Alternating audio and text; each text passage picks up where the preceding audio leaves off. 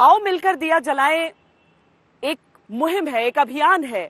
हम हर वर्ष दीपावली का पर्व मनाने के लिए वहाँ पहुँचते हैं, जहाँ हम शुक्रिया अदा करना चाहते हैं अपने घर की उस रोशनी के लिए। और आज हम भारत के उन सैनिकों के बीच पहुँचे हैं, जिनकी वजह से हमारे घर रोशन हैं, जिनकी वजह से हमारे सरहद सुरक्षित हैं, जिनकी वजह से हमारे घरों में अमन है, चैन है। और आज एक बेहद खास मेहमान हमारे साथ यहाँ पर आने वाले हैं हमारे सैनिकों के साथ दीपावली का ये पर्व मनाने के लिए। फ़ील्ड मार्शल सैम मानेकशॉ या विकी कौशल? अभी तो विकी कौशल।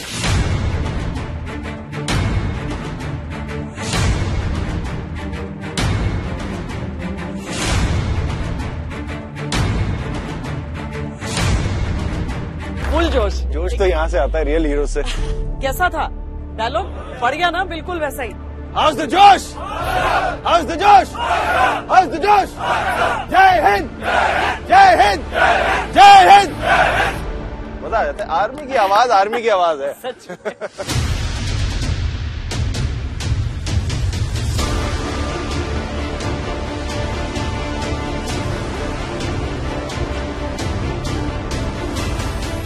दिवाली का शो हम शुरू कर रहे हैं इसलिए हम शुरुआत ही उस जगह से कर रहे हैं जो मुझे लगता है कि इंडियन आर्मी की वो जगह है जो पूरे देश के लिए एक मिसाल है सर्वधर्म स्थल चलते हैं। कब ये जो सर्वधर्म स्थल हम कहते हैं पूरी इंडियन आर्मी में कहीं भी बटालियन में जाएँगे हम यही परंपरा हमें दिखती है। यहाँ पर जो छह सिख है वहाँ पर भी हर त्योहार मनाते हैं आप लोग? बिल्कुल हर त्योहार हम यहाँ पर मनाते हैं। सर्वधर्म आर्मी में एक ही चीज़ सिखाई जाती है मानो किसी भी धर्म को सत्कार सभी का करो। और हर किसी भी आप जगह जाओगे आर्मी के साथ आपको सबसे पहले या गुरु ग्रंथ साहब है या उस धर्म से संबंधित कोई भी उनका। वो पुस्तक है वो आगे जाएगा और उसके बाद आर्मी बाद में मूव करेगी। मेरी प्योर सिख बटालियन होने के नाते जहाँ पर मेरे पर गुरु ग्रंथ साहब जी सुशोभत जी। है और जो भी हम कोई भी काम शुरू करते हैं पहले जहाँ पर आकर नतमस्तक होते हैं गुरु साहब का आशीर्वाद लेते हैं उसके बाद आगे की कार्रवाइयाँ शुरू होती है और हम सभी धर्मों का सत्कार करते हैं और अपने धर्म को मानते हैं।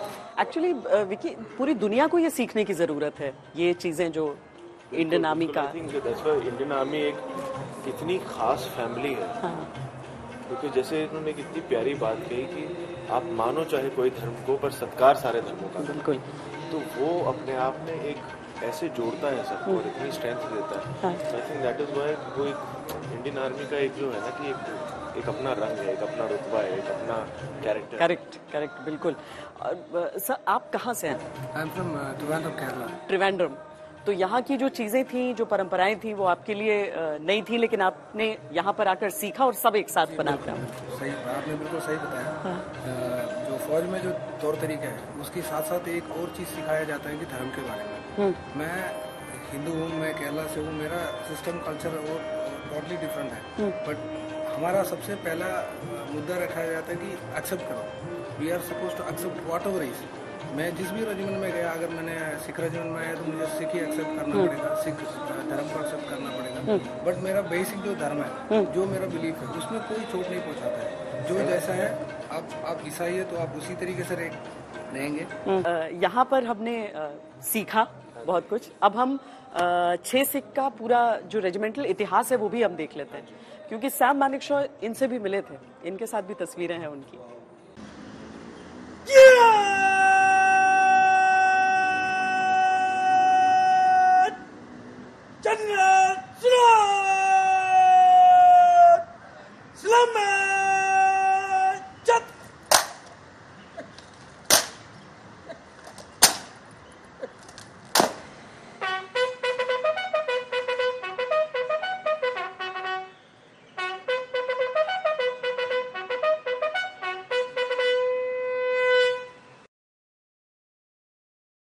वैसे भी छह सिख को सेरेमोनियल बटालियन कहते हैं।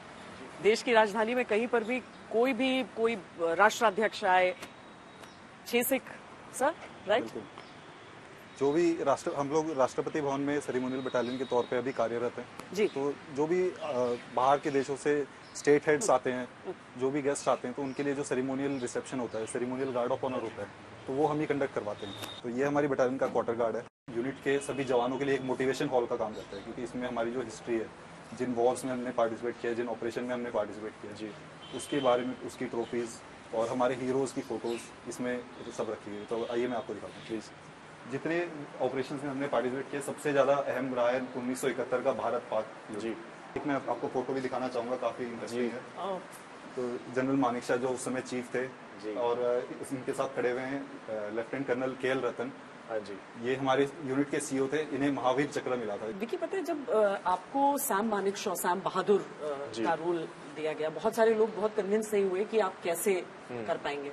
लेकिन अगर हम उन पोस्टर्स की तस्वीर को देखते हैं और ये तस्वीर देखते हैं जी। तो खूब हाँ एक्चुअली ये तस्वीर देख के मुझे बड़ा अच्छा लग रहा है क्योंकि जब हमने सैम बहादुर के रोल के लिए प्रेपरेशन शुरू की थी तो एक बाकायदा मेरे फ़ोन पे पूरा एक एल्बम था उनके कुछ 250-300 फ़ोटोज़ का। उन्नीस वर्षीय तब से जब से वो आईएमए में थे अ, फिर उसके वहाँ से अब तक काफ़ी एज तक। तो उनमें से एक फ़ोटो ये भी थी जहाँ पे अ, मुझे उनकी बॉडी लैंग्वेज स्टडी करनी थी या यू नो उनके चलने ढलने का तरीका कपड़े जो पहनते थे। तो अ, काफ़ी लुक टेस्ट हुए थे तो एक बहुत मतलब वो चाहे लुक हो चाहे कॉस्ट्यूम्स हो एक बहुत बड़ी टीम लगी थी वो लुक अचीव करने के लिए।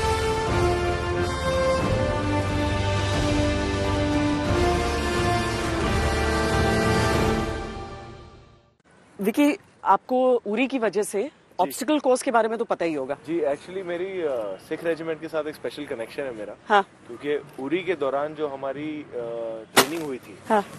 आर्मी की वो मुझे सेवेंथ बटालियन सिख रेजिमेंट ने दी थी मुंबई में। और आज मैं यहाँ हूँ सिक्स बटालियन हाँ। के साथ। और ऑब्स्टिकल ट्रेनिंग देख के मुझे वो यादें ताज़ा हो रही है। हाँ।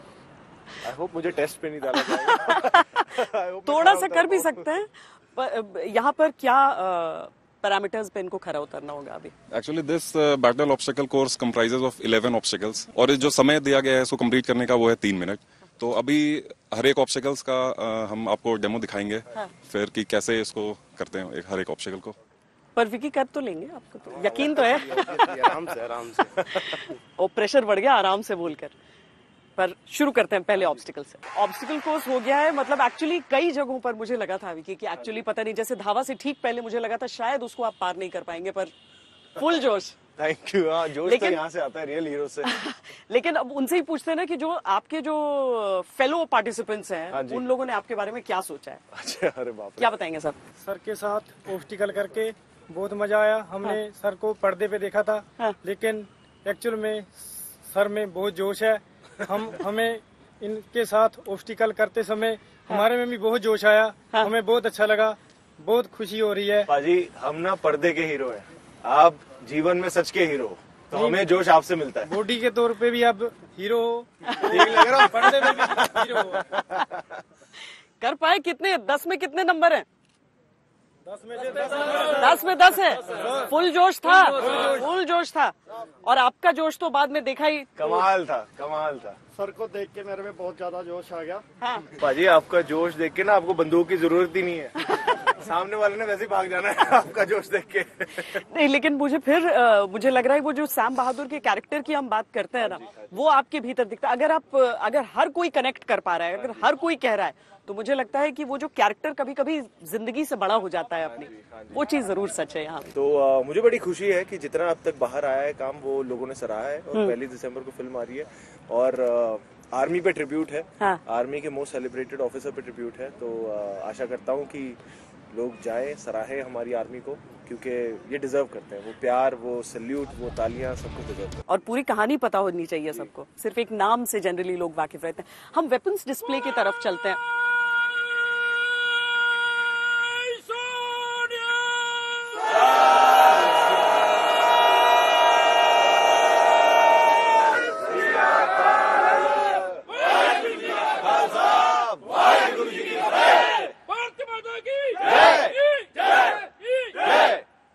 मतलब जितने भी हथियार रहते हैं उनकी ट्रेनिंग सारे सोल्जर्स को हमेशा चलती रहती है। अच्छा। ट्रेनिंग चलती रहती है हमारे पास अलग अलग बंदे हम तैयार करते हैं क्योंकि जैसे जिस प्रकार हमें आदेश मिलता है उसके इससे रिलेटेड क्योंकि ये नया नया वर्जन दिन प्रतिदिन तब्दील होता जा रहा है। जैसे ये दो किलोमीटर का आया ये चार का आया अभी आगे आगे लेटेस्ट टेक्नोलॉजी आती जा रही है तो उसके मुताबिक हमारे निर्देशानुसार हम काम करते रहे। सॉरी हमने आपकी क्लास को इंटरप्ट किया है क्योंकि ये दिवाली पर खास हाँ विकी कौशल आप सबके बीच आए हैं। आप सब देखते हैं फ़िल्में इनकी? देखते हैं? क्लास में बैठ के ज़्यादा ज़ोर से नहीं बोल रहे हैं जोश से नहीं बोल रहे हैं? मुझे लगता है सर आप इतनी अच्छे लीडर का जो हमारे सेना के इतने अच्छे लीडर थे हाँ जिन जो आज एक मार्गदर्शन के टाइप है आप उनकी फ़िल्म कर रहे हैं। हाँ जी। तो सर मेरी टीम की तरफ़ से एक रिक्वेस्ट है कि अगर आप उस फ़िल्म का एक डायलॉग पेश करेंगे तो हमें बड़ी खुशी होगी। अच्छा। हाँ बिल्कुल आर्मी आर्मी के लिए जो आप कहें। हमारा जो टीजर आया था उसमें एक डायलॉग था कि एक सोल्जर के लिए उसकी जान से ज़्यादा कीमती होती है उसकी इज़्ज़त उसकी वर्दी। और एक सोल्जर अपनी वर्दी की इज़्ज़त के लिए अपनी जान भी दे सकता है। जय हिंद! उनकी स्पीचेस सुनी है सामने से देखने का तो सौभाग्य नहीं मिला था। स्पीचेस सुनी है मैं कह सकती हूँ कि बिल्कुल कैसा था? डायलॉग बढ़िया ना बिल्कुल वैसा ही। हाउस द जोश भी करके हम यहाँ से फिर आगे तो बढ़े। आर्मी से ही था वो तो। How's the josh! How's the josh! How's the josh! जय हिंद! जय हिंद! जय हिंद! मज़ा आ जाता है। आर्मी की आवाज़ आर्मी की आवाज़।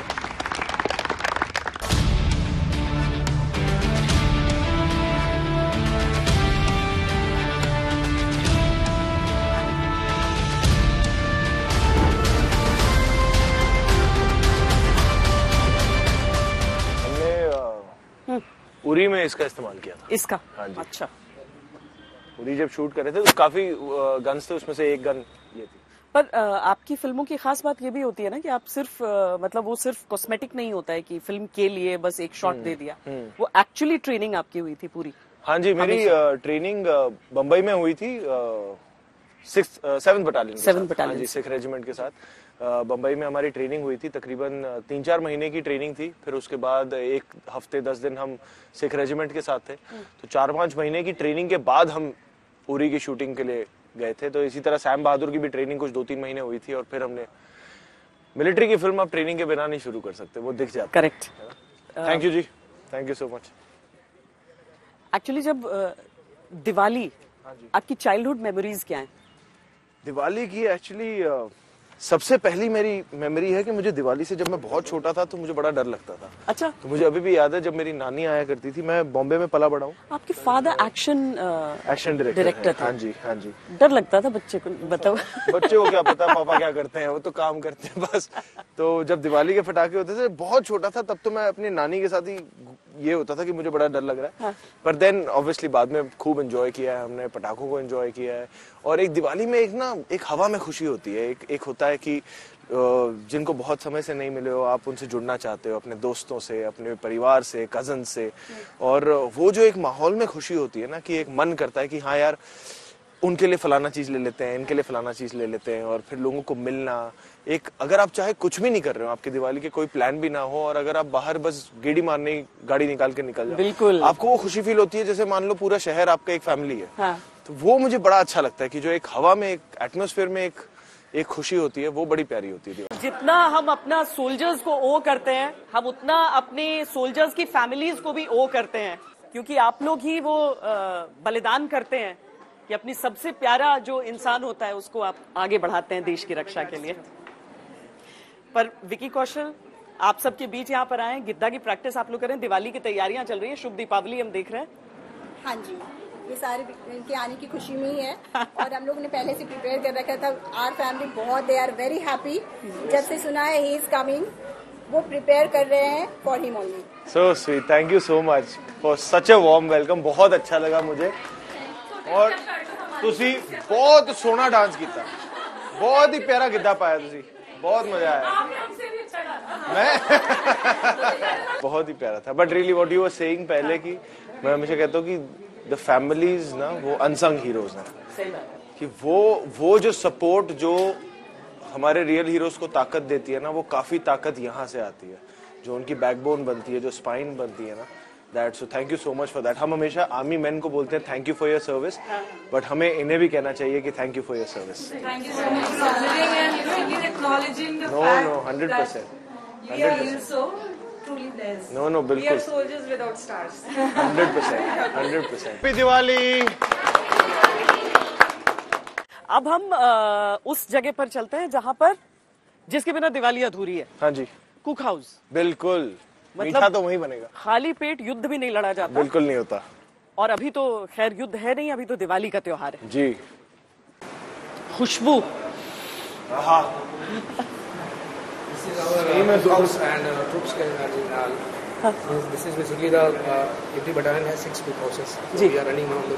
हम सर अंदर जा सकते हैं ना किचन में देखने। कहते हैं ना कि uh, जो नहीं, सबसे स्मार्ट कुक होता है वो बाकी काम दूसरों से कराता है लास्ट में सिर्फ़ सिर्फ़ एक घुमा देता है। करछी घुमा देते हैं। कैसे साहब? बढ़िया। आज क्या ये? आलू पकौड़ा बनता है। क्या बात है। छह सिक का फेवरेट वो जो एक सिग्नेचर डिश होता है वो क्या होता है? हमारे आलू के पकोड़े हाँ। और गोभी के पकोड़े। ही। मौसम भी आ चुका है गोभी का। चाय और पकोड़े चाय और पकोड़े। जी क्या बात है। ये वो चीज़ है जो आजकल मैं बिल्कुल खा नहीं सकता।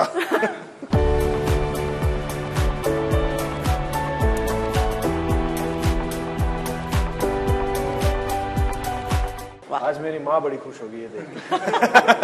कुछ तो कर लिया किचन में तूने। लेकिन अब हमारी आखिरी चीज़ की बारी जो सबसे इम्पोर्टेंट है जहाँ पर हम सोल्जर्स का भी टैलेंट देखते हैं। हाँ जी। थोड़ी कविताएँ उनकी थोड़ा गाना बजाना थोड़ा सा आपका ऑफ़ कोर्स आइए। थैंक यू साहब जो बोले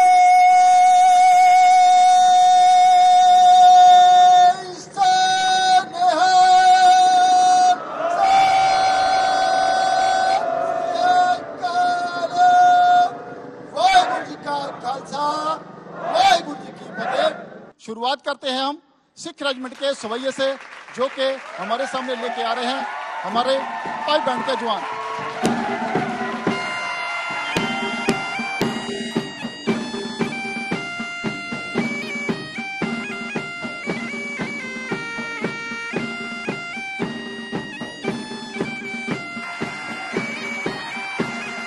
अब पूरी तरीके से बाजी पलट गई है और यहाँ पर देखिए। मैं बहुत सरप्राइज़ हूँ इनका इतना ग्रेसफुल भंगड़ा देख के, क्योंकि पाँच मिनट पहले इन्होंने धावा दिखा के डराया था। और लग नहीं रहा कि ये सेम इंसान है जो यहाँ पे डांस करके हमें एंटरटेन कर रहे हैं और खुशी बांट रहे हैं। चेहरे पे मुस्कान लिए बिल्कुल बहुत ही प्यारा भंगड़ा था और bhangra I think as a dance form also देख के भी मज़ा आता है करने में भी मज़ा आता है। तो it was an honour for me कि आज मैं फौज के साथ थोड़ा सा भंगड़ा कर पाया। मैं सोच रही हूँ थोड़ी देर के लिए अपना भी किरदार बदल दूँ। और ये जो जर्नलिस्ट वाला किरदार है ना वो मैं दे दूँ। सवाल पूछेंगे? कौन पूछ रहा है पहला सवाल? सर आपकी इंडियन आर्मी की कौन सी वो बात है जो आपको सबसे ज़्यादा अच्छी लगती है? मुझे अ, सर ये बात सबसे ज़्यादा अच्छी लगती है कि इंडियन आर्मी जो है वो रियल लाइफ हीरोज है। हम पर्दे के हीरो हैं।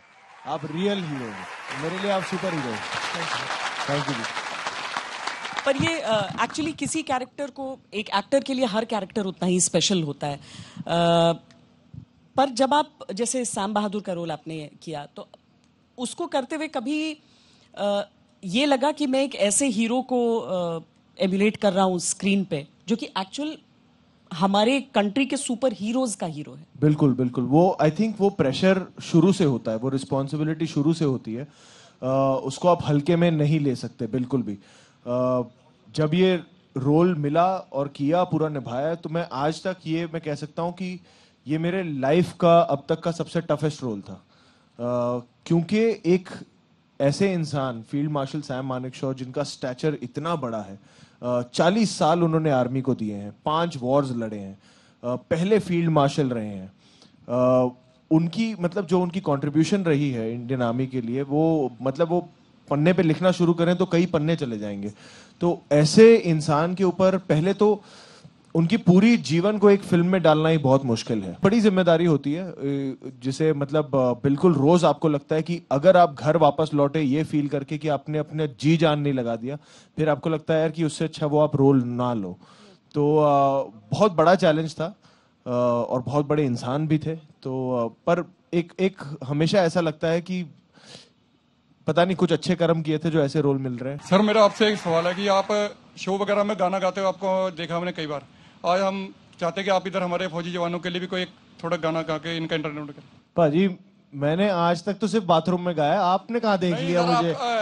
कपिल कपिल शर्मा के शो में देखा सर। गाया था मैंने? हाँ जी हाँ उसके टीआर पे बड़ी लो होगी फिर। कोई बात नहीं हम भी लो टीआरपी रिस्क कर लेंगे। अच्छा केड़ा गाना गाइए? कोई पंजाबी गाना तो ही गा दो दो लेना जवाना वास्ते। एक कैरेक्टर से दूसरे कैरेक्टर में घुसना कितना मुश्किल होता है? डिपेंड करता है वो कैरेक्टर आपसे कितना दूर है हाँ। और आपके कितना नज़दीक है अ, जैसे एक अ, मैंने फ़िल्म की थी मनमर्जियाँ उसमें पंजाबी लड़के का ही रोल था विक्की संधू डीजे सा था जी। मेरा गाँव पंजाब में है हाँ। तो मैंने वैसे लड़के देखे हुए थे कुछ कुछ दोस्त यार थे तो वो आसान हो गया पकड़ना कुछ कुछ होते हैं जो बहुत मतलब मेहनत लगती है। जैसे उरी की थी उसमें फ़िज़िकल मेहनत बहुत थी। सर मेरा ये सवाल है कि जैसे अभी मानिक शाह मूवी कर रहे हो हाँ जी। सर सैम मानिक शाह हाँ जी। उसमें आपको सबसे जो डायलॉग आपका एक बार उसमें दोबारा सुनना उसमें सर एक डायलॉग है जो सच में उन्होंने कहा था there will be no more withdrawals Sam is here तो वो एक जो पावर है कि वो जो कॉन्फिडेंस देता है कि यार मैं हूँ अभी पीछे नहीं हटना है जो भी होगा आगे कर सकते हैं इसको। और आपका भी वही लाइन है कि आगे कदम। एज ए डॉक्टर आपसे सवाल है आप अपनी मूवीज़ में कई बार इतना ज़्यादा वेट आपको गेन करना पड़ता है कई बार इतने ज़्यादा वेट कम करना पड़ता है अलग अलग कैरेक्टर के लिए तो क्या चैलेंजेस होते हैं आपके लाइफ में?